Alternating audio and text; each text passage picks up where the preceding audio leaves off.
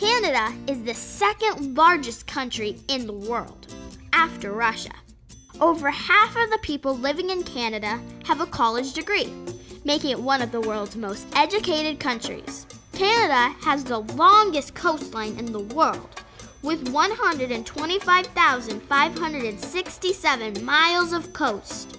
During cold winters, temperatures can drop to negative 20 degrees Celsius, meaning parts of the Atlantic Ocean on the Canadian coast can freeze enough that people can play hockey on it. Canada has an estimated 2 million lakes, which is more than any other country in the world. Pretty cool, huh?